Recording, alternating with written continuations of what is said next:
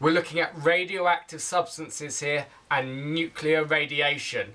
Now, a radioactive substance like uranium or plutonium, it can decay and release different types of nuclear radiation depending on the substance. It could release an alpha particle, it could release a beta particle, or it could, when it decays, send out gamma radiation. And they're the three types of nuclear radiation.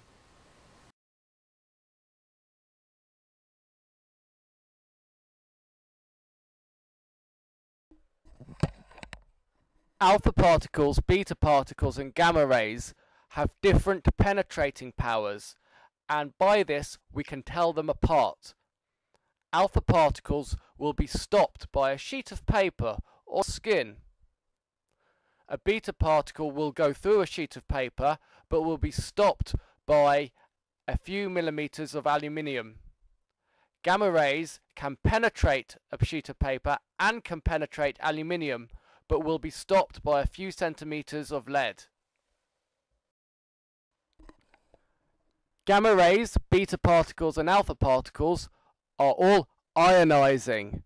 This means that they can either remove electrons from atoms to form positive ions or add electrons to atoms to form negative ions. As a result, they can potentially cause cell damage and cancer.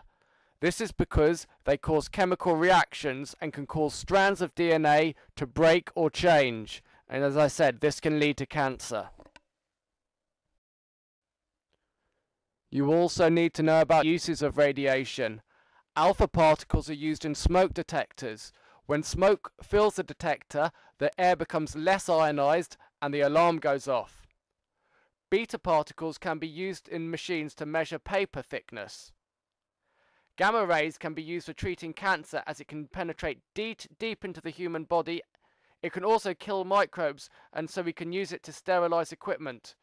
And it can also be used to detect faults in welding.